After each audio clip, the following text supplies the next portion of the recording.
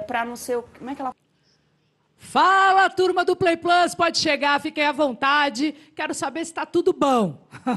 Estou chegando no recinto ao vivo para dar um recado especial para vocês. Sejam bem-vindos aqui à nossa varandona de todos os domingos. Você sabe que o poder da chama vermelha do TikTok você já escolheu, né? Aquele que bota o pânico na formação da roça. Então, a votação desse poder foi encerrada hoje ao meio-dia. E a opção mais votada foi a opção B o dono desse poder deve escolher um roceiro. Este roceiro não pode ser vetado da prova do fazendeiro. Tome-lhe! Agora, sabe o que eu vou fazer? Daquele jeitinho, né? Eu vou colocar o poder da chama vermelha junto com a chama amarela. Tá aqui, ó. Para partir para aquele momento lacração. Foi. Olha lá. Puf. Lacradinho, é isso, meus amores. Daqui a pouco a gente vai descobrir quem vai ser o dono dessa artilharia pesada, porque olha, vou dizer que o negócio vai ficar bom demais na